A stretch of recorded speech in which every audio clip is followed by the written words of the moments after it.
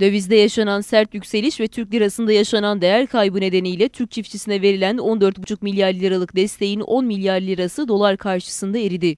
Cumhuriyet Halk Partisi Edirne Milletvekili Okan Gaytancıoğlu, Türk lirasındaki değer kaybına dikkat çekerek 14,5 milyar lira olarak verilen destek sözünün 10 milyar lirasının dolar karşısında eridiğini ve çiftçiye yeniden bu bütçenin verilmesi gerektiğini ifade etti.